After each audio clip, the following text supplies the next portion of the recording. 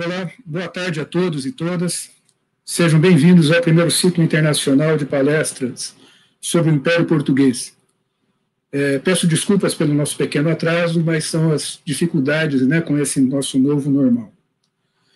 É, antes de tudo, eu gostaria de registrar aqui nossa solidariedade às 126, 686 famílias que perderam seus entes queridos que morreram de Covid-19 no Brasil torcemos para que a ciência encontre tão rapidamente quanto possível uma vacina, pois ainda não existem medicamentos comprovadamente eficazes para a Covid-19, tornando o isolamento, quando isso for possível, a única forma de atenuar a velocidade de contágio. O isolamento, que nós, a que nós somos obrigados, produz situações inusitadas, como, por exemplo, a realização de um ciclo de palestras como esse de forma remota. Por um lado, essa forma de realização do, evento limita a nossa interação, o nosso contato interpessoal, a troca de informação, as discussões que ocorrem nos bastidores dos eventos acadêmicos. Por outro lado, o evento online cresce em amplitude, permite que tenhamos, por exemplo, mais de 1.600 inscritos de todo o Brasil e de países como Angola, Portugal, Estados Unidos, Polônia, França, Turquia, Japão, entre outros. Eu sou o professor Cezinando Luiz Menezes, do Departamento de História e do Programa de Pós-Graduação em História da Universidade Estadual de Maringá. Eu coordeno, junto com o professor Sérgio Juvenal Costa, desde 2008, o Laboratório de Estudos do Império Português do Departamento de História da Universidade Estadual de Maringá, que promove esse evento. É, nós agradecemos, no primeiro momento, aos mais de mil inscritos nesse nosso primeiro ciclo internacional de palestras sobre o Império Português. Agradecemos também o apoio à realização do evento por parte do Programa de Pós-Graduação em História da Universidade Estadual de Maringá, o programa de pós-graduação em educação, também da mesma universidade, e das instituições parceiras na promoção desse evento. A Universidade Federal de Pernambuco, o Instituto Federal do Paraná, campus de Pitanga, e o Centro Universitário Cidade Verde de Maringá. Mas agradecemos principalmente, e já dou as boas-vindas, ao professor Dr. Luiz Felipe de Alencastro, que gentil e prontamente aceitou o nosso convite. Nosso evento conta com a tradução simultânea para a língua brasileira de sinais, a ser feita pela Cléia Torino, do Programa Interdisciplinar de Pesquisa e Apoio à Excepcionalidade, o PROPAI, da Universidade Estadual de Maringá. A palestra de abertura, a ser proferida pelo professor Dr. Luiz Felipe Alencastro, tem como título O Império Português e a Geohistória Luso-Brasileira, um oceano de escravizados. O professor Dr. Luiz Felipe de Alencastro tem um vasto currículo acadêmico, tendo passado grande parte da sua vida, vida acadêmica, evidente, em instituições europeias, principalmente na França. O professor possui graduação pelo Instituto de Estudos Políticos d'Aix-en-Provence, doutorado em História Moderna e Contemporânea pela Universidade de Paris, Nanterre, e livre docência em História Econômica pela Universidade de Campinas, São Paulo. Realizou estágio de pós-doutorado na Universidade de Sorbonne, ensinou na Universidade de Paris, Vincennes, e na Universidade de Rouen. Professor adjunto no Instituto de Economia da Unicamp, foi pesquisador sênior do, é, do SEBRAC, foi pesquisador sênior na Universidade Brown, pesquisador visitante na Universidade de Salamanca, entre outras atividades de docência e de pesquisa. É professor emérito da Universidade Sorbonne e é coordenador atualmente, do, desde 2014, do Centro de Estudos do Atlântico Sul e professor titular da Escola de Economia de São Paulo da Fundação Getúlio Vargas. Eu gostaria de lembrar ainda, antes de passar a palavra ao professor Luiz Felipe, que os presentes poderão fazer é, perguntas, poderão interagir com, o palestrante, e ao final da apresentação serão selecionadas, dependendo, evidentemente, do número de intervenções, é, as perguntas direcionadas ao professor Dr. Luiz Felipe de Alencastro, pelo professor Dr. Saulo Justiniano da Silva, que eu tenho que ressaltar, tá, foi fundamental para a realização desse ciclo de palestras. Bem, então, com a palavra, professor Dr. Luiz Felipe Alencastro, mais uma vez, muito obrigado por ter aceito o nosso convite. Boa tarde a todos. É, muito obrigado pelo convite. Eu queria agradecer, então, à Universidade Estadual de Maringá, aos organizadores, ao professor Cezinando, ao professor Saulo Justiniano, com quem eu fiquei mais em contato, e a todos uh, que a Cleia também, que faz essa tradução em Libra, e a todos os que uh, os internautas que nos assistem agora. A, a temática da, que eu propus para falar sobre o Império Português, eu queria fazer algumas uh, notas prévias. A ideia de império, no sentido de continuidade, é uma ideia recente. Recente, eu digo, na história dos domínios ultramarinos e mesmo na Europa, a ideia de continuidade imperial, continuidade territorial, nunca existiu no Império Português na Ásia, uma obviedade, não é? Havia o vice-reino da Índia, mas que ia de Moçambique até Macau, era uma espécie de cadeias de uma renda portuguesa de feitorias, sem verdadeiramente haver enclaves, com enclaves territoriais às vezes, mas outras vezes pequenos pontos, e isso, é importante dizer, durou até a retrocessão de Macau à China em 1999. Então é muito curioso que no Brasil, e hoje em dia da independência do Brasil, se firmou é, essa ideia de uma predestinação nacional em que a América Portuguesa ia se tornar uma nação independente. Isso nós aprendemos na escola. Eu fiz a escola primária e o ensino médio no Brasil, fiz a minha graduação e o doutorado na França, mas, enfim, eu vejo que isso continua a ser ensinado como se estivesse na ordem natural das coisas. Eu sempre que falo disso, eu chamo atenção para os meus alunos de comparar Macau justamente com São Paulo, porque Macau, São Paulo foi fundada em 1554, como todos sabem, e Macau eh, tornou-se feitoria portuguesa em 1557, e nunca os portugueses, a, o domínio português extravasou os poucos quilômetros que lhe foram concedidos nessa península, que era cortada do continente por um, uma muralha, grande cerca, e que eh, durou até 1999, mesmo no momento da retrocessão eh, para a China, é, menos de 2% dos macaenses falavam português, e muitos deles é, aprenderam português nas últimas, nos últimos anos da presença portuguesa para poder pleitear a cidadania portuguesa e escapar da pressão chinesa isso, então, é uma coisa muito interessante. Quais as razões, então, antes de pensar na independência brasileira, quais as razões que São Paulo evolui para se tornar a maior é, megapole,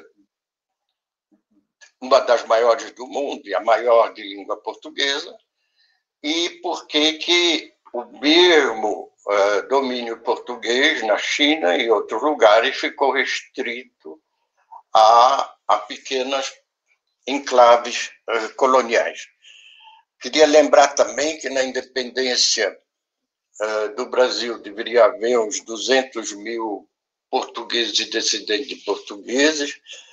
Em Angola, em 1900, havia no, 10 mil colonos e em Moçambique, mil. Então, é uma desproporção muito grande, mesmo tomando o enquadro atlântico.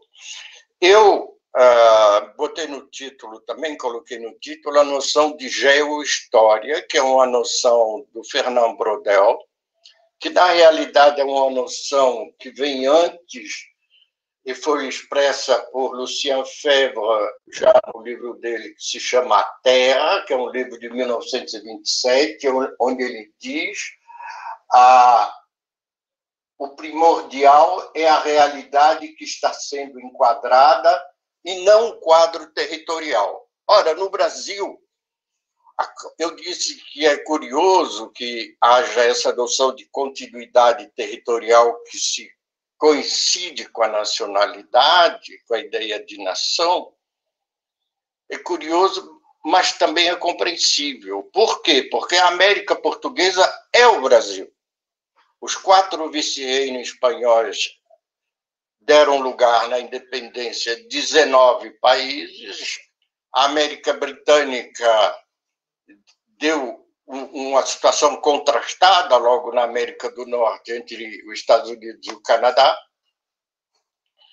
Ah, fora as, as colônias que eh, depois se transformaram em nação ah, colônia britânica no Caribe, a América Francesa houve várias mudanças também, perderam o Quebec, venderam a Louisiana e integraram Guadeloupe, Martinique e uh, Guiana Francesa no no, como território nacional, como uma continuidade. Então, é uma situação muito contrastada e as explicações uh, para isso, eh, essa essa ideia, então, de que a América Portuguesa é o Brasil, e há livros do ensino médio, e mesmo livros de história, que mostram o, uh, o descobrimento de Porto, do, do, Brasil por Pedro Álvares Cabral, e já aparece o mapa do Brasil desenhado inteirinho, tal como ele é hoje, com Acre, Tocantins, as divisões territoriais é, eu, uh, é, é, um dado sempre muito impressionante. A outra coisa é, é como se salta, sem a menor uh, reflexão, da etapa de feitoria para colônia.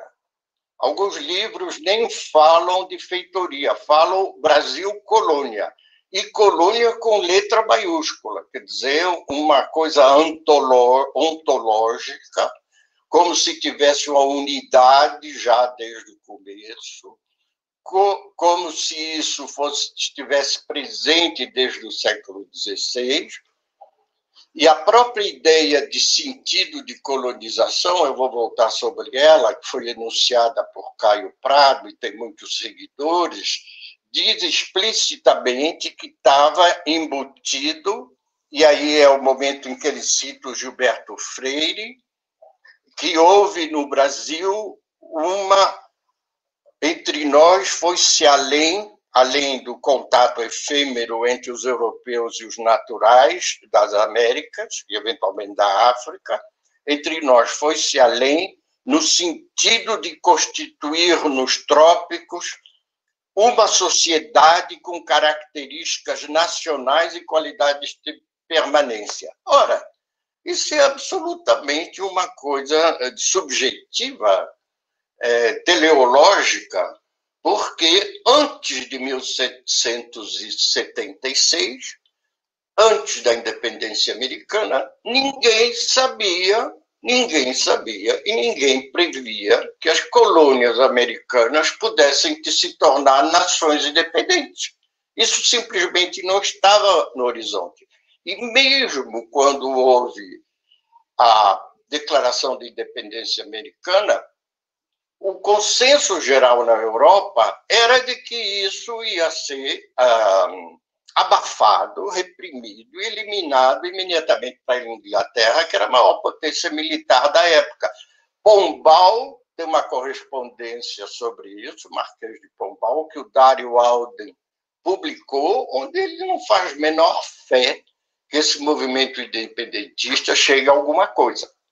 Evidentemente, a situação evoluiu, e evoluiu sobretudo porque houve uma intervenção militar, eh, naval e de infantaria francesa até chegar à Batalha de Yorktown. Mas, enfim, o fato é que não havia precedente histórico da evolução de colônias para nação, nessa primeira expansão europeia. Na segunda havia, claro, na segunda que começa em meados do século XIX.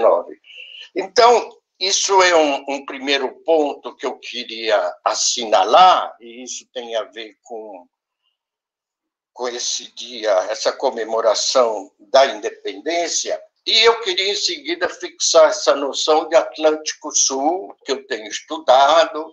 O meu livro Trato dos Viventes tem como subtítulo Formação do Brasil no Atlântico Sul, não na América do Sul, no Atlântico Sul, porque se forma nesse nessa espaço geohistórico que combina não só a o Brasil e a África, mas que combina também o que se chamou até o início do século XIX, na diplomacia brasileira e na geopolítica americana, o Rio da Prata, isto é, o que foi o vice-reino do Rio da Prata, que englobava a Argentina atual, o Uruguai e uma parte do Paraguai e porções da Bolívia. Isso é uma coisa essencial, essa esse espaço geohistórico do Atlântico Sul, ele existe desde o final do século XVI, é o livro célebre da Alice Canabrava, de 1942, que o Brodel reconhecia como a única discípula dele na Universidade de São Paulo, era que ele mais salientava, e e que é uma pioneira de, de, história econômica no Brasil, acho que foi a primeira professora mulher catedrática na USP e no Brasil, talvez na América do Sul. E, e essa definição desse espaço sul-atlântico atravessa todos os séculos do período colonial vai para o século XIX, há ruptura com a África, mas há a conexão com o Rio da Prata, que continua muito forte antes da construção do Canal do Panamá. E depois, então, a Argentina, bruscamente, a partir do final eh, do século XIX, e sobretudo Buenos Aires, surge como um polo de atração no espaço até então dominado pelo Brasil e o Rio de Janeiro, e começa a atrair capitais, e de repente Buenos Aires ultrapassa o Rio de Janeiro, vira a maior cidade da América Latina e a cidade verdadeiramente europeia, atraindo capitais europeus e imigração europeia, inclusive a imigração portuguesa, que vinha majoritariamente para o Brasil, começa a ir para Buenos Aires. É isso que é um fator da renovação do Rio de Janeiro, da urbanização do Rio de Janeiro, e se fala muito de Pereira Passos, no Rio, imitando Osman, em Paris, mas há também a concorrência da Argentina e de Buenos Aires no começo do século XX da República Brasileira, que cria de novo uh, um espaço mais amplo do Brasil na América do Sul e a, a noção de África desaparece não, vejam bem, não a noção de africanos no Brasil ou de negros, mas há um desaparecimento total da reflexão histórica brasileira ou antropológica sobre as ligações com a África. Isso já tinha sido, dá para notar, na primeira edição da História Geral do Brasil, do Varnagen, que sai nos anos 1850, ele fala num capítulo de eh, João Fernandes Vieira e André Vidal Negreiros, que foram governadores de Angola, e faz uma menção rápida num subcapítulo sobre a presença desses interesses dos colonos do Brasil, que eu não chamo ainda brasileiros, essa palavra nem existia para designar naturalidade, ela ainda tem até o começo do século XVIII a ideia de comerciante de pau-brasil, é só depois que esse é, substantivo via substantivo de naturalidade. É muito curioso, porque é um substantivo em português e nas línguas, línguas neolatinas, que eiro é profissão, não é naturalidade, como padeiro, pedreiro, carpinteiro. Então, o nosso designativo de naturalidade é uma profissão de um comércio, como mineiro em Minas Gerais. É, e nós também somos, com a Costa do Marfim, o único país que tem nome de commodity, de mercadoria. Então, é uma coisa bastante notável nesse, dessa herança colonial é também essa, essa continuidade do Atlântico Sul, que eu disse, vai até o século XX, a África é, some do espaço, o Varnhagen, então, faz essa menção que eu acabei de citar dos governos, dos governadores de Pernambuco e Paraíba em, e do Maranhão em Angola, mas é, o, o, Rodolfo Garcia e o Capistrano de Abreu, que editam a terceira edição da História Geral do Varnag, suprimem simplesmente esse capítulo. Não tem mais que falar em Angola. E é notável que seja assim, que Capistrano que tinha feito isso, porque no capítulo de História Colonial, que é um livro que aparece em 1906, que é um livro programático, onde ele tenta criar uma nova interpretação da história do Brasil, fundada no sertão do Rio São Francisco e mais no mercado interno, é, ele só cita Angola uma vez e indiretamente, quando cita o Antonio, cita um texto do Antonio. Não tem citação de Angola o Capistrano de Abreu deu sumiço na conexão com o Brasil, com a, com a África. Isso vai permitir, então, essa história territorial. Eu nem chamo história nacional, porque não existia nação ainda, mas essa interpretação territorial da, da história, que depois, agora, com a independência do, das colônias africanas e eu queria lembrar que está fazendo 60 anos da independência das colônias francesas em 1960, e depois, sobretudo, com a independência das colônias portuguesas, de novo grandes nações lusófonas que aparecem no, e, e o Brasil, a diplomacia brasileira se envolve, começa de novo voltar um interesse maior para esses, esse passado e a questão da ruptura dessas ligações com, entre a África e o Brasil, é, que, que são efetivas, que são concretas, aparece como um lapso de tempo que vai diminuindo, porque na história longa, que começa no século XVI e adentra no século XXI, há de novo uma continuidade de relações entre o Brasil e a África e a, a projeção do censo da ONU para o século XXI, que foi feito em 2015, mostra que no final do século XXI, Angola e Moçambique essencialmente, mas enfim a África lusófona em geral, terá mais habitantes do que Portugal e o Brasil juntos. Isto é, haverá mais lusófonos na África do que no Brasil e Portugal juntos. E já se anuncia uma imigração, esse boom demográfico de Angola e Moçambique estimula, e já dá para ver no Brasil, uma uh, imigração africana lusófona, então, nós temos no século XXI um outro encontro com a África, como tivemos esse encontro é, nos, nos três primeiros séculos da história da América Portuguesa.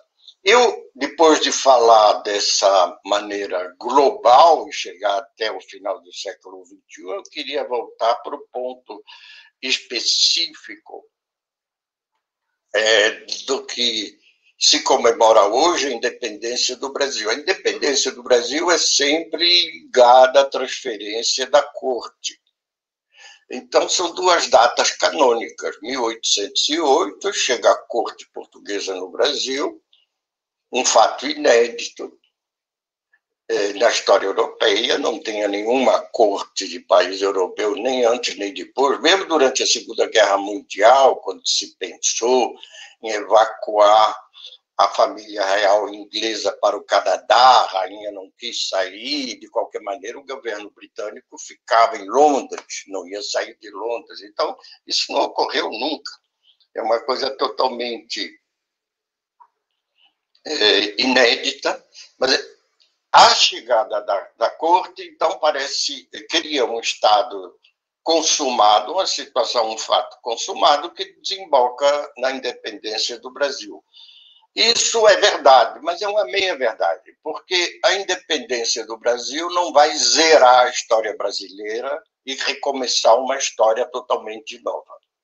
Isso, os países africanos que se tornaram independentes sabem disso, a situação muda, muitas vezes radicalmente, mas ela não deixa de existir continuidades que se formam, é, no período colonial que permanece em seguida.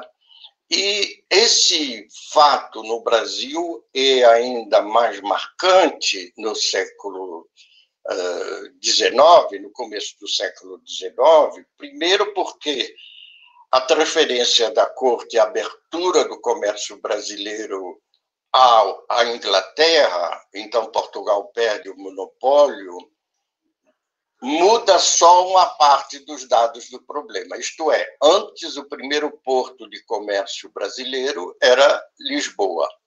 O segundo, qual era? Era Luanda.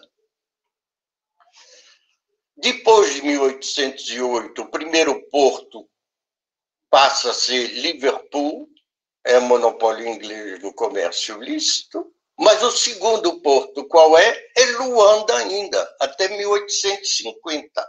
Isto é, o que eu chamo de matriz espacial colonial, essa ligação orgânica, umbilical entre o Brasil e a África, a África lusófona e principalmente Angola, e também no começo do século XIX, Moçambique, é o que eu chamo a atlantização de Moçambique, vai atrair, então, para o Rio de Janeiro, e eu vou mostrar um gráfico depois, a quase totalidade do, do, do, do tráfico de escravizados na época.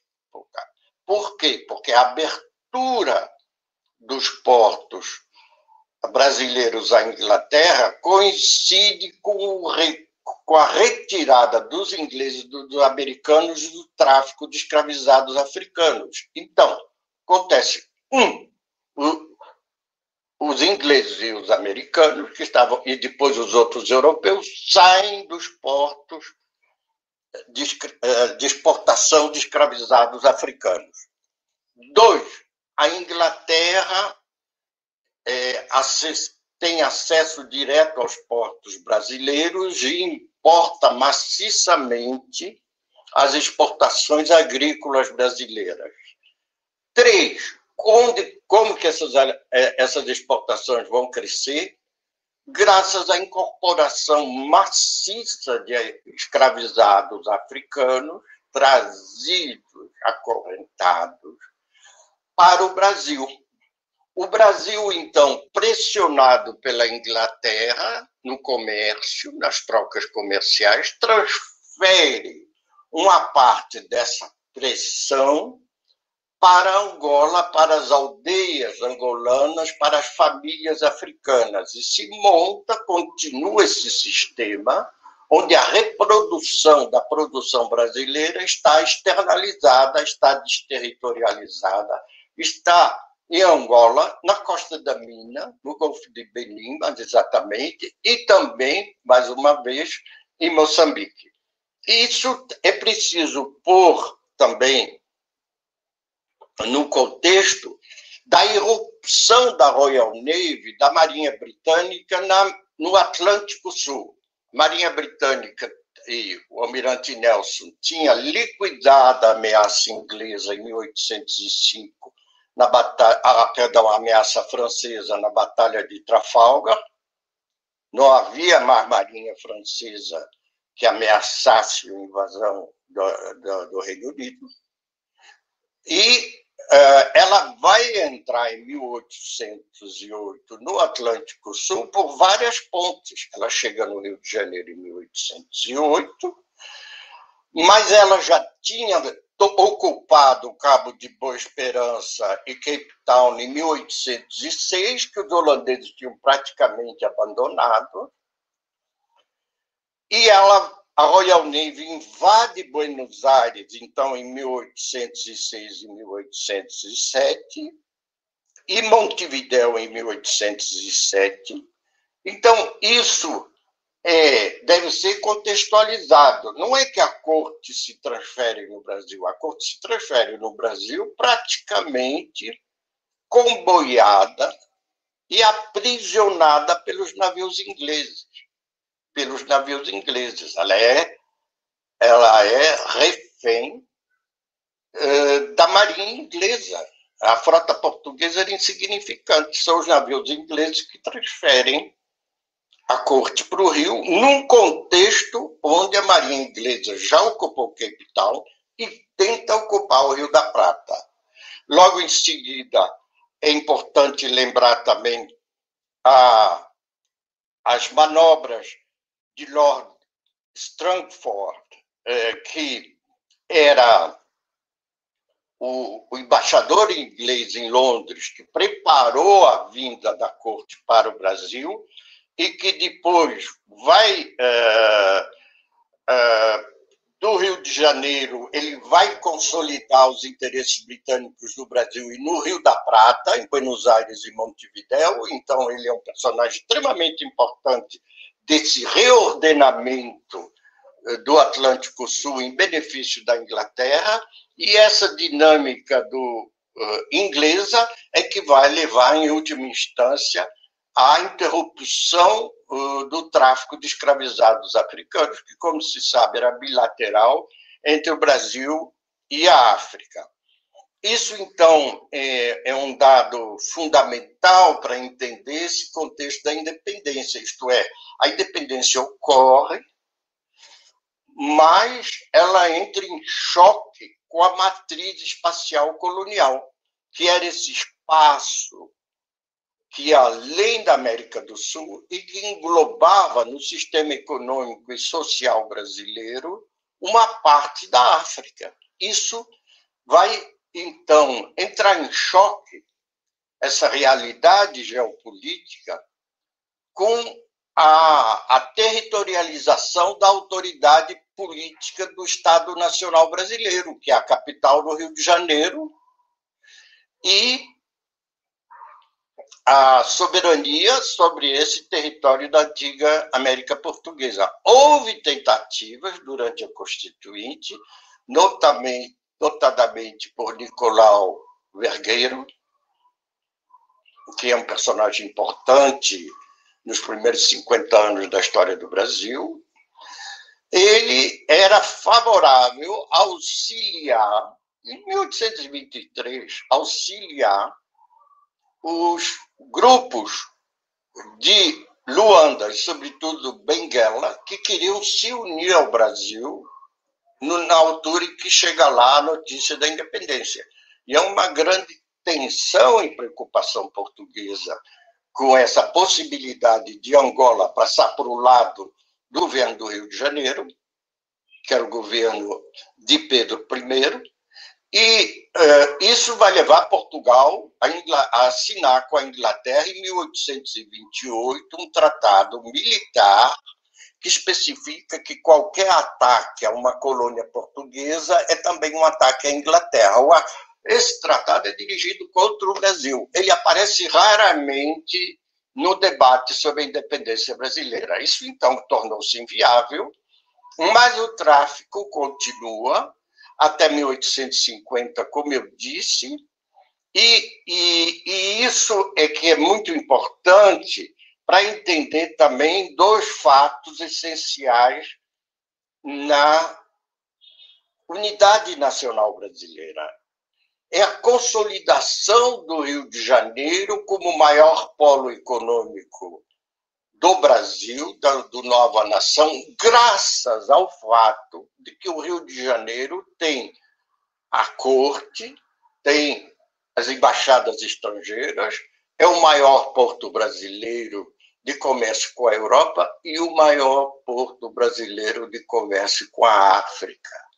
É nesses anos da pós-independência do Brasil que o Rio de Janeiro vai se tornar o maior porto negreiro das Américas, das Américas todas, do Novo Mundo, e Luanda se torna o maior porto negreiro da África inteira. Está nas estatísticas do Transatlantic Slave Trade Database.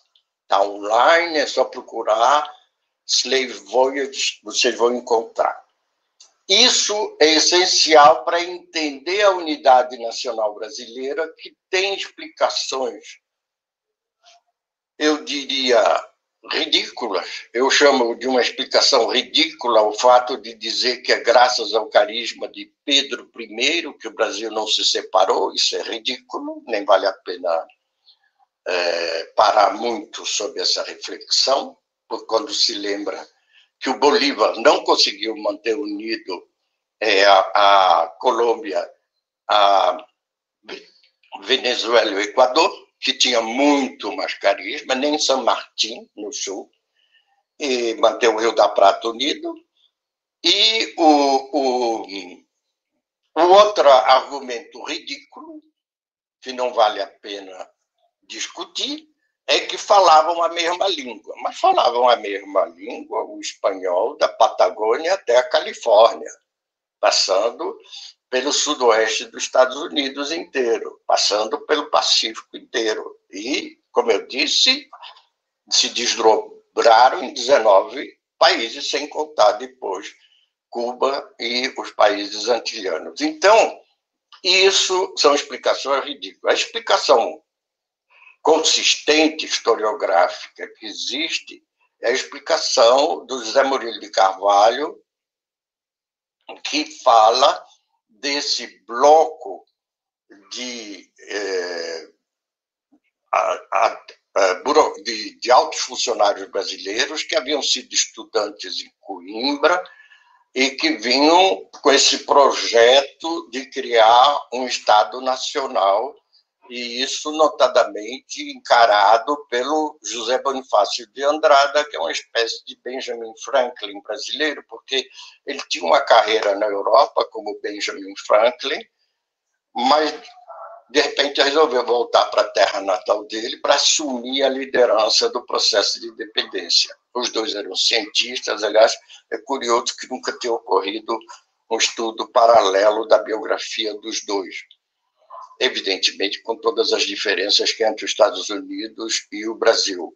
Mas o fato é que esse argumento do José Murilo toma em vista a coesão territorial do Brasil, mas ele não é, subestima a tensão criada do exterior pela pressão inglesa para que acabasse logo o tráfico de escravizados africanos. Isso faz parte de um pacote de tratados anglo-portugueses primeiro, porque o primeiro já é assinado em 1810, renovado em 1818, e o Brasil herda esses tratados da independência, onde o Brasil se compromete a acabar com o tráfico de escravizados, ele faz essa simulação que eh, vai que é essa primeira essa primeira legislação que acaba com o tráfico legal até 1831, mas deixa correr, as autoridades deixam correr o tráfico ilegal até 1850.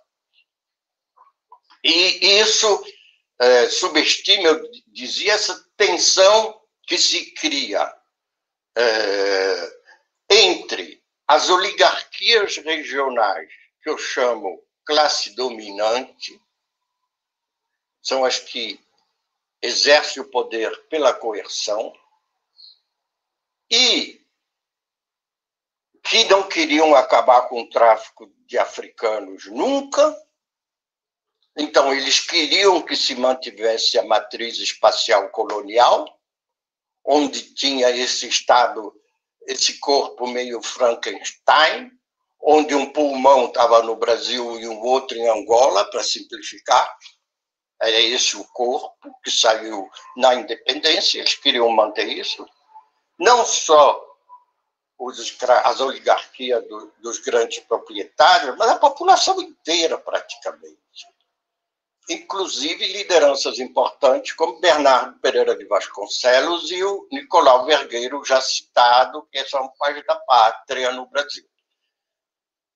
Esse era o bloco que achava que dava para encarar a pressão inglesa e continuar importando escravizados africanos para o Brasil. O outro bloco é a classe dirigente, é a administração imperial. Eu nem falo muito burocracia, porque burocracia é usada no Brasil de uma maneira equivocada, nos Estados Unidos também. Burocracia é uma palavra meio pejorativa de altos funcionários que abusam da delegação de poderes que eles têm para governar um carteiro não é um burocrata, como eu já ouvi falar aqui. Um, o, o, nós estamos falando de administração pública, no caso de administração da monarquia, da administração imperial. Essa administração, que é a classe dirigente, que exerce o poder pelo convencimento, essa divisão de classe dirigente e classe dominante, por exemplo, o Zé Murilo não faz, ele fala sempre de elite. O, o Faoro também fala de elite, de grupos no poder, dessa coisa toda. Essa distinção entre classe dirigente, que é a administração pública, administração imperial, e classe dominante, que são os donos da terra e os donos do escravo, é inspirada no Gramsci. Eu estou falando isso porque não sou eu que inventei esse conceito, eu acho que ele é muito útil para ver depois o conflito que vai dar entre essa classe dirigente que consegue uma negociação global acabar com o tráfico de escravizados africanos, num contexto que precisaria de mais uma hora de discussão detalhada, mas que deixa um legado terrível. É o seguinte, e eu vou terminar por aqui, que é a coisa mal resolvida da independência brasileira e mal resolvida da história do Brasil até hoje. E que é o seguinte: o tráfico, o, acordo de 1800, a, a lei brasileira de 1831, feita na sequência da pressão britânica, não saiu da cachola de nenhum diplomata, de nenhum parlamentar brasileiro da época, é resultado direto da pressão britânica. É, eu vejo eu, eu, queria falar nisso porque às vezes eu vejo eh, gente, eh, eu já vi comparações com Sada Bandeira, que também acabou com a escravidão nominalmente na África em 1830. Não tem nada a ver. Na África não havia tráfico oceano de africanos. Quem era a demanda, os, os ingleses entenderam rapidamente que não valia a pena tentar cercar os portos portugueses de tráfico, era preciso cercar o Rio de Janeiro, Pernambuco, a Bahia, onde estava a demanda, não a oferta. Tinha que bater dos dois lados, mas, sobretudo, no caso da demanda. É, por isso que não acaba nunca o tráfico de cocaína na fronteira do México. A demanda está nos Estados Unidos, não adianta reprimir do lado de cá. É, é o mesmo sistema de comércio clandestino, que dá ganhos muito altos, eu vou voltar sobre esse ponto. Então, essa legislação de 1831 especificava que todos os africanos introduzidos depois da data eram livres quando pisassem numa praia brasileira. Um, eles eram livres. Dois, quem os mantivesse na escravidão estava incorrido, incorrendo em crime de sequestro de pessoa livre. E podia ser condenado a uma pena de quatro anos de prisão de multa como sequestrador. Então, são duas consequências dessa lei. Em 1831, todo africano que entrou é livre e todo proprietário, entre aspas, dele, ou usuário, mesmo que fosse uma família, está sequestrando um indivíduo livre, é um sequestrador. Pois bem, Entre 1831 e 1850, isso o livro da Beatriz Mamigoni mostra bem, entraram 740 mil africanos ilegalmente. Nenhum deles era escravo nos termos da lei brasileira. No arrego feito em 1850, se decidiu duas coisas. Um, daqui para frente não tem mais, tudo bem, não vai se importar mais africanos. E de presente para os proprietários sequestradores foi dito que eles não seriam punidos por o sequestro. Então, houve uma anistia dos sequestradores. Porém, não houve a libertação dos sequestrados ilegalmente escravizados por esses proprietários. Isto é, os filhos, os netos, os bisnetos desses indivíduos, é, desses 740 mil, eles próprios, os descendentes deles até 1888, não eram escravos. Isto é, a última geração de escravos no Brasil não era escrava. Ela era ilegalmente submetida, ilegalmente nos termos da escravidão brasileira, da legislação brasileira. Então, a escravidão não era só imoral, ela era ilegal. E foi isso que viu o grande Luiz Gama, o único abolicionista que havia sido escravo, que fez um combate jurídico e jornalístico para denunciar essa situação.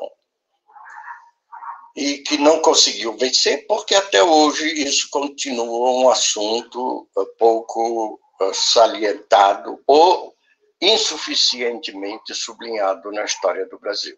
Eu queria terminar por aqui, lembrando então que há esse passado, o Brasil se constitui como uh, na pilhagem da África. Eu estou falando do Brasil independente, não tem esse negócio de herança colonial, mas se quiserem entrar nisso, eu também posso entrar no debate de descarregar a culpa nos portugueses, porque houve expedições militares saídas do Brasil no século XVII começo do século XVIII para invadir Angola. Foi o único país das Américas, a única colônia que teve uma intervenção militar na África.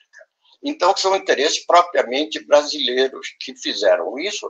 E o outro elemento que vai fortalecer o Rio de Janeiro, além do tráfico de africanos, é o fato que o Rio de Janeiro vai ficar o porto central de exportação de café. O escoadouro da expansão do café no centro-oeste, no momento em que o Brasil se torna o maior produtor mundial de café e estatuto que ele guarda até hoje. Então, aí também começa, graças à rede negreira do Rio de Janeiro, essa preeminência do Centro-Sul sobre o Nordeste. Há toda uma historiografia, notavelmente da Universidade de São Paulo, que sublinha o lado arcaico da produção açucareira, patrimonialista, enquanto que os cafeicultores do não do Vale de Paraíba, mas do Oeste Paulista, Rio Claro, Campinas, eram empresários mais dinâmicos. Isso é uma ponta, é, é uma, um terço da verdade. A verdade da consolidação do café é que a rede negreira do Rio de Janeiro era mais densa, mais extensa, extensa e mais bem organizada do que a da Bahia e de Pernambuco. Não é só o açúcar, o açúcar também joga isso, porque a rede negreira está conectada a uma demanda dos produtores. E a demanda, a rede negreira do Rio respondeu mais rapidamente a essa demanda dos escravocratas do Centro-Sul que plantavam café. Eu agora vou mostrar, então, dois gráficos só que ilustram o que eu disse, para terminar. Se você puder, Saulo, mostrar o gráfico 1. Bom, aqui vocês estão vendo, são estatísticas do database que eu já mencionei. Eu separei, então, as, os desembarques de escravizados africanos nas Américas dos desembarques realizados na América Portuguesa e no Brasil independente. Então, vejam bem, o Brasil independente é essa curva azul. O restante da América é uma curva vermelha. Começa uh, são períodos decenais, que começa lá embaixo, e por começo do século XVII o Brasil passa na frente do resto das Américas inteiras. Isto é, está chegando mais africanos escravizados nos portos brasileiros do que todos os outros portos da América, porque é a alta do açúcar.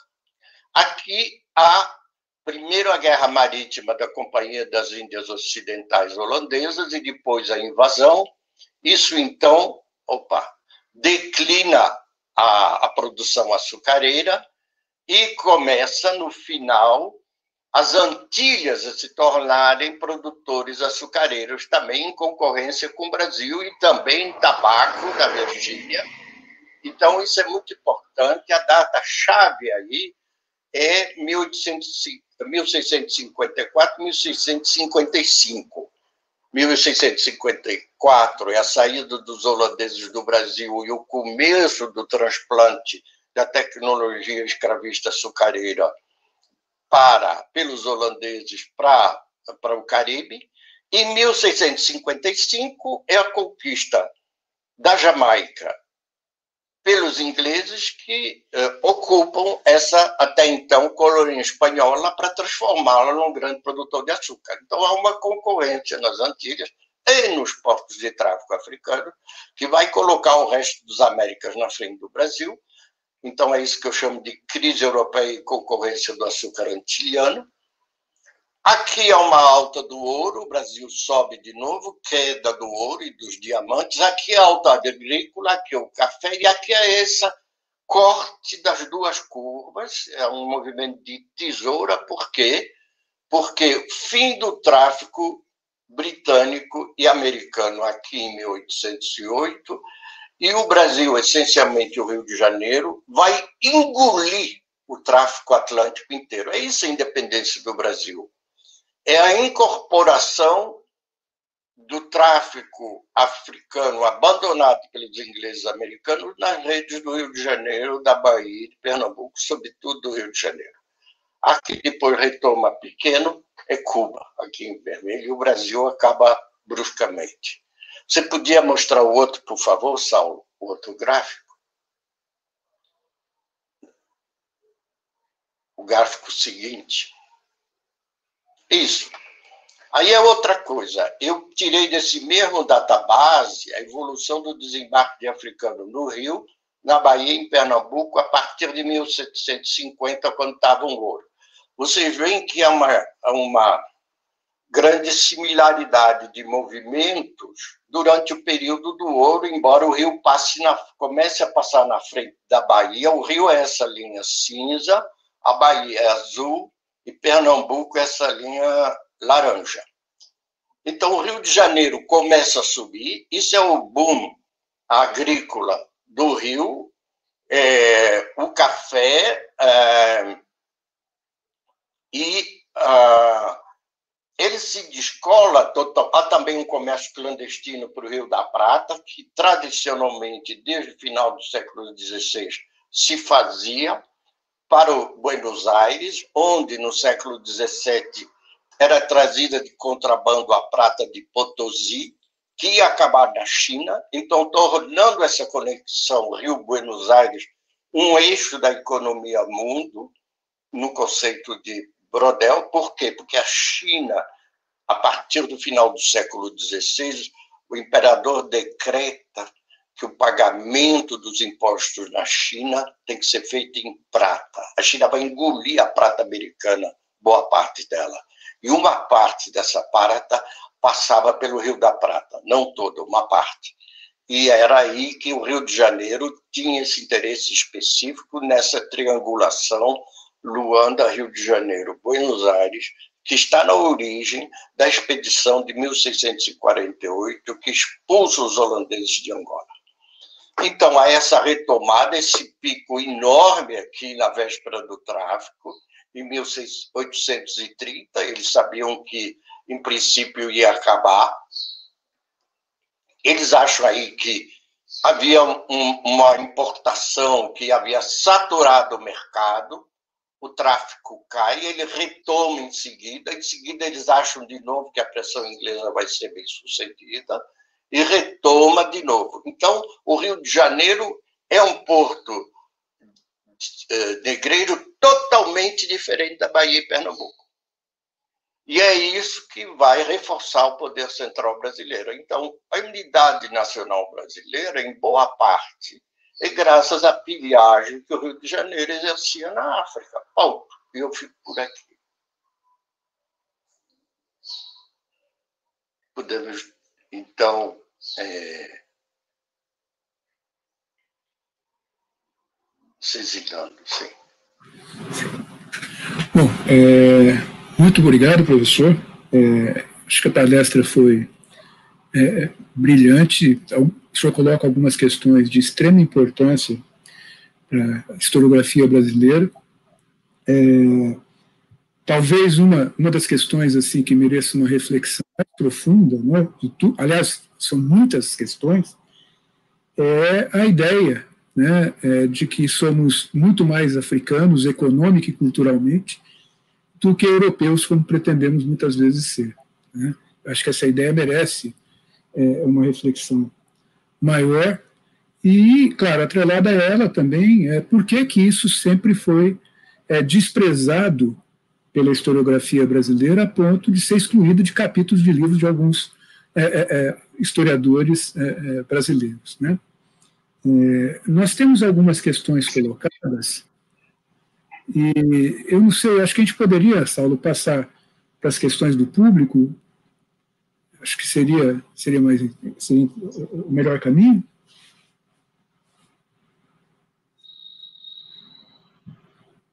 Podemos?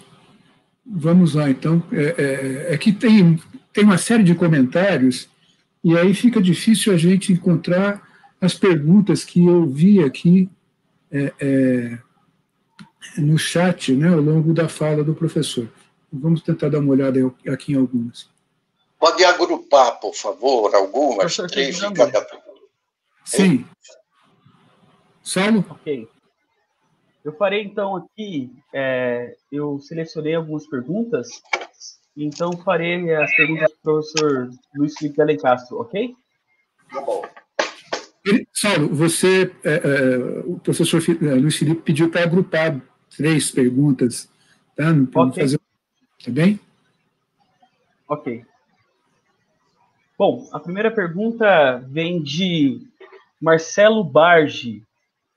Professor, a pergunta do Marcelo Barge é a seguinte: a ideia de continuidade do Império Português, mesmo sem a conjunção territorial, estaria ligada à política do padroado?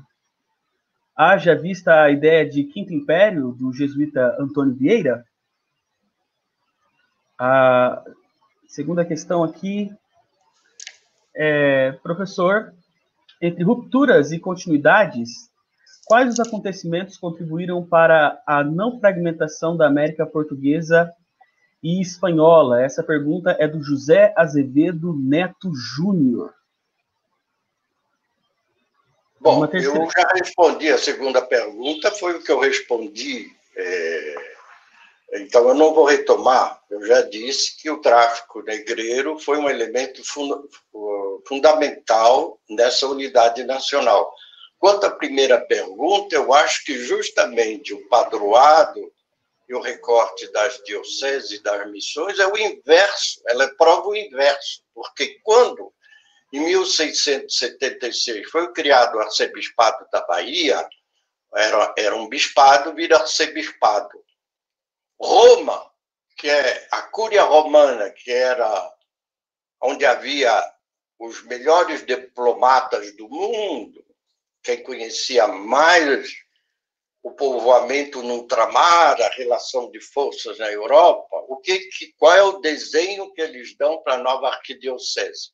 A nova é criada, então, junto, Salvador vira um arquidiocese, é criado um novo bispado no Rio de Janeiro, um outro bispado em Olinda e um outro bispado em São Luís. Então, a diocese de São Luís, que cobria a Amazônia inteira, fica dependente de Lisboa, não da Bahia, por causa do sistema de ventos e correntes e troca marítimas e comércio. Não tem nada a ver com o Brasil, por isso que chamava Estado do Grão-Pará e Maranhão. A Arquidiocese da Bahia vai incorporar a Diocese do Rio de Janeiro, de Olinda e de Angola, São Tomé e Congo. Então, em final do século XIX, não tem Brasil, nem tem América Portuguesa. Tem conexões transatlânticas que Roma, o papado, chancela como divisões territoriais que atravessam o oceano. Não tem nada a ver com o Brasil isso. É o contrário. A presença, a, a territorialidade é, da igreja era outra. Não havia identificação nenhuma com a divisão territorial portuguesa, era o interesse da circulação marítima. Eles sabiam perfeitamente que não fazia sentido botar os padres de Maranhão a visitarem o arcebispo do Bispado do Maranhão, a visitarem o arcebispo da Bahia, porque não havia navegação. E ele sabia muito bem que não fazia sentido botar o Bispado de Angola dependente de Lisboa, como era até então, porque as ligações com a Bahia eram muito mais densas. É isso. Eu agradeço até essa pergunta que me permite dar, e há livros que falam da fundação do arcebispado da Bahia, livros de história, manuais de história, que feitos recentemente, que falam da criação do arcebispado e omitem que o arcebispado incluía também Angola, Congo e São Tomé, a autoridade do arcebispado da Bahia. Porque, como não se adequa a essa forma do Brasil territorial, então fica de fora. O documento é mutilado e a informação é cerceada.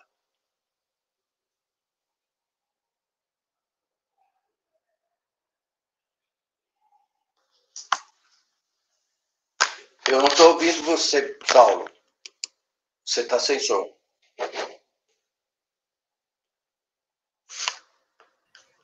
Ok. Professor, podemos responder mais algumas perguntas? Claro. Posso colocar para o senhor? Claro. Ok. Vamos lá. É, a pergunta aqui é a pergunta do Luan Sales Rosanos. Ele diz o seguinte: Boa tarde, professor Alencastro. Recentemente li o seu artigo Labirinto das Fronteiras, onde o senhor comenta sobre a expansão preemptiva de Portugal no século XV e XVI em relação a Castela e Espanha. O senhor poderia é, explanar mais a respeito dessa expansão relacionada aos vizinhos ibéricos, ou melhor dizendo, ao vizinho ibérico? Não, esse artigo que ele se refere é a economia política dos descobrimentos. Eu nunca escrevi um artigo chamado Labirinto das Fronteiras, mas eu falei desse assunto sim num artigo que circula aí, chama Economia Política dos Descobrimentos. Isto é, Portugal tem eh, uma, um problema histórico é que ele é pequeno do lado de uma Espanha descentralizada, um problema que não está resolvido até hoje, porque como os dois países estão na União Europeia, há um, um, um e Madrid se tornou a grande capital ibérica, a ideia de Portugal um dia fazer parte da periferia do governo de Madrid é, não está totalmente excluída. Mas isso levou Portugal sempre a, a, a, a conceber duas coisas interessantes. A primeira é a aliança com os protestantes da Inglaterra para se defender dos católicos espanhóis.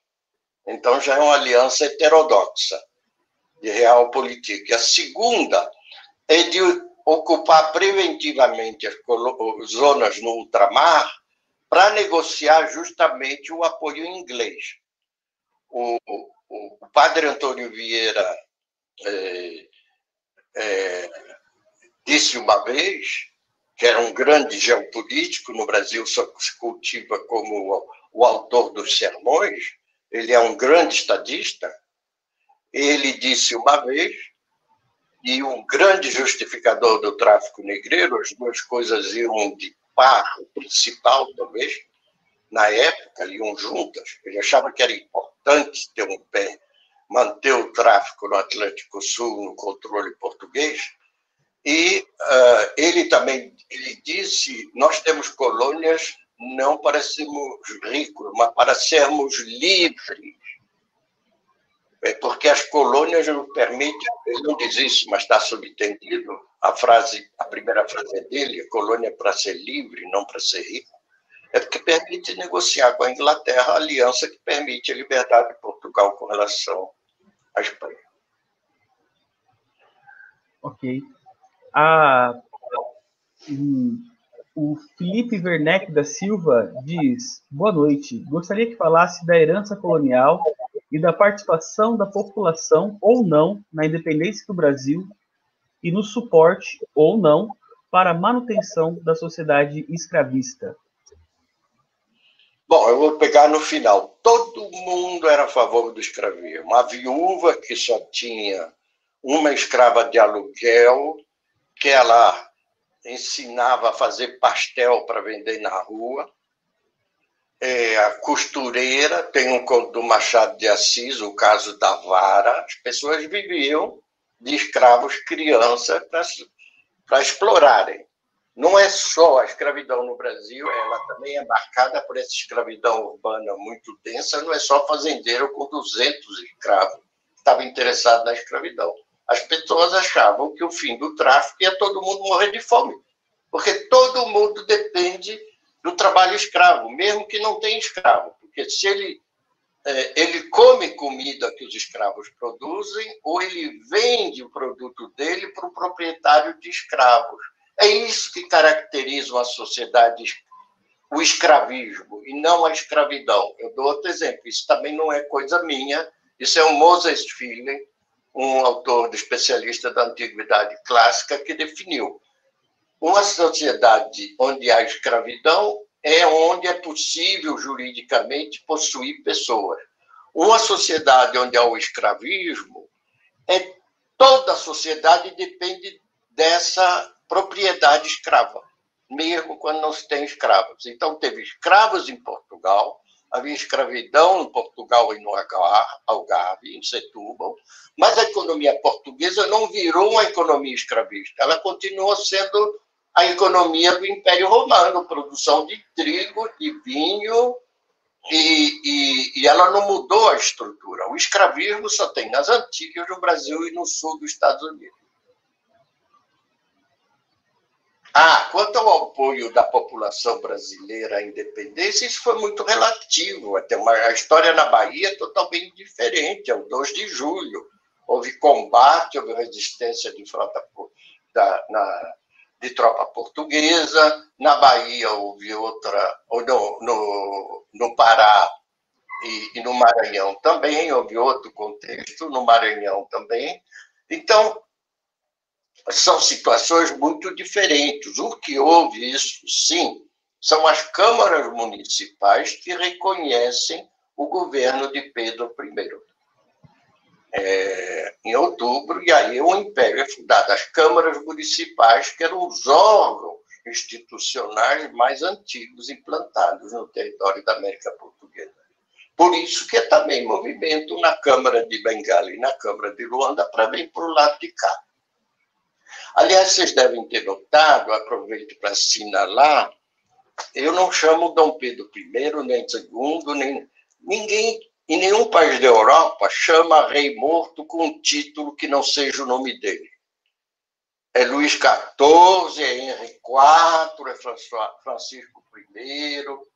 Em Portugal e no Brasil se herdou-se essa ideologia salazarista e monarquista de dar um título para reis ou imperadores que não tem nada a ver, fora do nome deles. Então, é uma coisa totalmente injustificada que eu não reproduzo mais quando eu escrevo. Eu digo essas coisas de vocabulário, eu falei no começo de botar colônia com letra maiúscula, meu editor fez isso no primeiro livro e eu deixei passar com a minha anuência. Colônia C maiúscula, a colônia. Eu não vou fazer isso mais na segunda edição revista que aparece no ano que vem. Colônia é minúscula mesmo, porque se você põe colônia no século XVI, você salta a etapa da feitoria e você já chega no Brasil da independência. Quando é que vira colônia? Quando começa a chegar maciçamente africanos. E eu, para retomar o ponto que o professor Cezinando falou, de cada 100 indivíduos, esse é um cálculo que eu fiz, que está na rubrica a África, o tráfico de africanos, no Dicionário da Escravidão e da Liberdade, organizada pelo Flávio Gomes e a Lília Schwartz, que saiu em 2018. Eu fiz a rubrica do tráfico. E eu fiz esse cálculo de cada 100 indivíduos que entraram no Brasil entre 1550 e 1850, ao final do tráfico, 86 eram escravizados africanos. Só 14 eram portugueses, assumindo que os holandeses entraram e saíram. 14 eram portugueses como colono até 1822 e como imigrante 1822 a 1850. Nós éramos um país totalmente africano e nós hoje somos de novo. É a revanche da demografia. Nós temos a maior população negra fora da África, afrodescendente, e a população afrodescendente é majoritária no Brasil desde 2010. Professor, a professora Ana Lúcia, aqui do Departamento de História da UEM, ela pergunta, é, na verdade ela pede para o senhor comentar mais sobre a ação do movimento abolicionista de Luiz Gama e outros abolicionistas no contexto histórico pós-1831. É, esse assunto que eu falei da da lei de 1831 determinar que quem entrava era livre, ficou totalmente encoberto. O Nabucco reconhece isso no abolicionismo, reconhece isso no estadista do Império, e reconhece de maneira tão mais impressionante que quem criou a possibilidade desses escravos, que não eram escravos, esse indivíduo livre, continuarem sendo escravizados foi o pai dele, Nabucco de Araújo, que era ministro da Justiça, que fez uma circular nos anos 1850, dizendo para os delegados de polícia não irem mexer com esse assunto de tentar libertar escravos introduzidos ilegalmente. Todo mundo sabia disso, mas era ocultado. E o, o Luiz Gama uh, o Zé do Patrocínio, pela primeira vez na história, o Zé do Patrocínio faz um cálculo do que os senhores, os proprietários escravos, deviam para esses indivíduos ilegalmente escravizados e a quem eles não pagavam salário. Então, quando eu vejo essa conversa, há essa ideia de reparação, de indenização é cópia americana, quem diz isso é gente que ou está desinformada ou também há um pouco de má fé, porque isso o José do Patrocínio escreveu em 1880.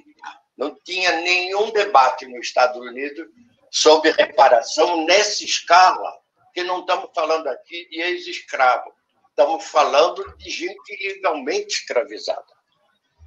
Então, é, é um, é um movimento muito importante, mas não é só isso. A campanha abolicionista não é só nos tribunais que ela se faz, ela é feita também no campo, na revolta de escravos, individuais ou coletiva, também essa polarização em torno de Palmares, que é compreensível, mas é preciso não esquecer as insurreições individuais feitas na solidão, no isolamento, e que levavam até mulheres escravas a abortar para não ter escravos, filhos escravos. Isso a gente sabe, porque o Antônio diz. Isso, então, é também uma forma de eh, sabotar o sistema escravista. Principalmente aqui em São Paulo, onde ele estava se expandindo eh, através de empresários que não tinham tradição escravocrata.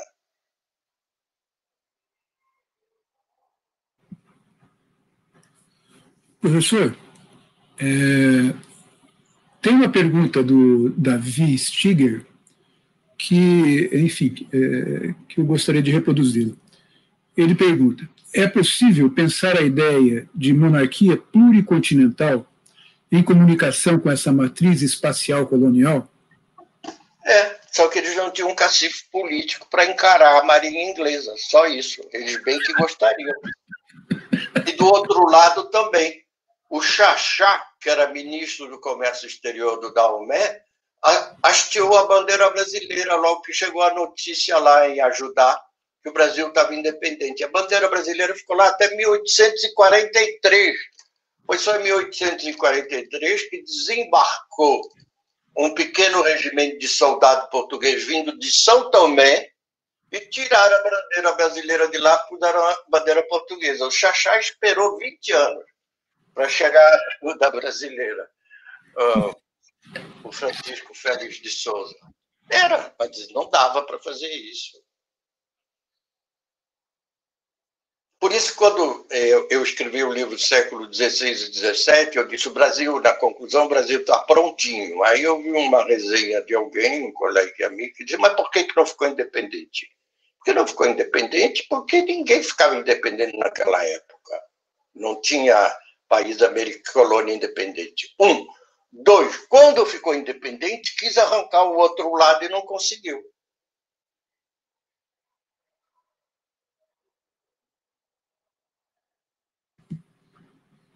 Bem, eu acho que é, nós podemos encerrar, professor? Sim, né? Tudo bem. É. É, nós temos aqui uma série de outras perguntas, mas infelizmente é, o espaço de tempo. Né? Se, tiver, se tiver alguma de Angola, eu responderia com prazer. Veja aí, porque vocês disseram que tem gente inscrita em Angola. Tá. Salvo, você encontrou alguma coisa? Não, ainda não.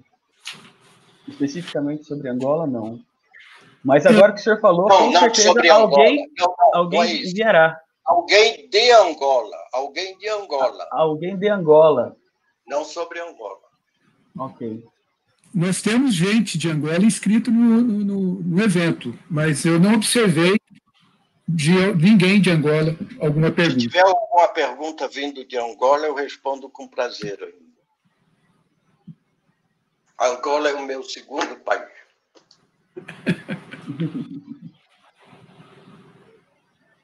Bom, professor, olha, eles, quando mandavam a pergunta, não colocavam de onde falavam, né? Então, talvez Sim. agora, se esperarmos um pouco, talvez apareça alguma questão vindo de Angola. É, mas. Então, deixa, deixa. Se não é. tem, tudo bem. O que nós temos aqui é um comentário, professor, é, dizendo que vai partilhar ah, o, o, vídeo da, da palestra com os amigos angolanos. Ah, tá? muito bem, muito obrigado. Tá bem? Tá então, é, mais uma vez, nós agradecemos. Eu acho que existem temas e questões que aparecem é, na, na, na, palestra do senhor que nos levam a profunda reflexão sobre a, a história né, é, que, que os historiadores é, construíram e uma coisa que eu confesso me chamou muita atenção é essa, é, porque isso vem desde o século passado. Né? É, por exemplo, Sérgio Buarque de Holanda chegou ao ponto de dizer que nós seríamos desterrados em nossa própria terra, pois éramos, éramos culturalmente europeus e estavam é, que se transplantaram para os trópicos. Né? E isso nos faz refletir, inclusive, sobre isso, porque a partir das reflexões que o senhor ajuda a gente a pensar, é, nós somos muito mais angolanos, digamos assim, do que europeus. É, nas nossas relações mercantis, né, é, imagine, inclusive, a possibilidade de nós termos tido quase que então Brasil e o Atlântico Sul ter se transformado num grande lago é, é brasileiro e angolano, digamos assim, né, no século XIX, se os, é, os interesses escravistas tivessem tido é, força para tanto né, para enfrentar os outros interesses. Enfim, mas são todas as todas questões que é, a palestra do senhor é, nos permite pensar é, e que não serão respondidas né, é, no espaço de tempo que nós temos hoje. Então, eu, mais uma vez, é, eu agradeço imensamente a disponibilidade do senhor, a, a, a gentileza com que nos tratou, a receptividade ao convite que, que lhe foi feito. Né? Agradeço a, a, Cléia Torino, que fez a tradução é, em Libras, a palestra chegasse até um público mais amplo. Né? Agradeço também aos membros do LEIP, né, principalmente ao Salvo, é, ao público presente e às instituições promotoras, a Universidade Estadual de Maringá, a Universidade Federal de Pernambuco, o Centro Universitário Cidade Verde de Maringá e a Universidade Federal do Paraná, o, perdão, o Instituto Federal do Paraná, é, o campus de Pitanga, certo? Mas, mais uma vez, agradeço especialmente ao professor Luiz Felipe de Alencastro. Eu é, gostaria de lembrar que as palestras ficarão disponíveis no nosso canal no YouTube e as listas de presença ainda estarão disponíveis, disponíveis por 48 horas. Tá? É, e convidamos a todos os presentes é, para a nossa segunda palestra nesse ciclo, que vai ocorrer na próxima, é, no próximo dia 14 de setembro, às 17 horas, nesse mesmo canal. E a nossa próxima palestra será com o professor Pedro Puntoni. Então, mais uma vez, muito obrigado a todos. Obrigado a todos.